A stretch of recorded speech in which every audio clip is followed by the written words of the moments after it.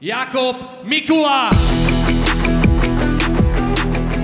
Čaute, volám sa Jakub Mikula, som z OFA Bratislava a čaká ma najbližší zápas na Dracula Fight Night 2. Čaká ma tam prvý zápas pod PML, e, bude to vlastne proti Jozefovi Janutikovi. E, je to veľká výzva pre mňa, ale, ale ako hovorím, budem pripravený, veľmi sa na to teším a, a bude to dobrý fight.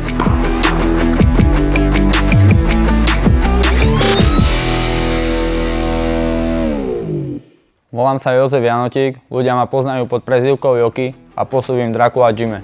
Mojím superom je Jakub Mikula z OFI a viem o tom, že je to mladý začínajúci fighter. Idem vyhrať zápas, čakám druhé kolo KO.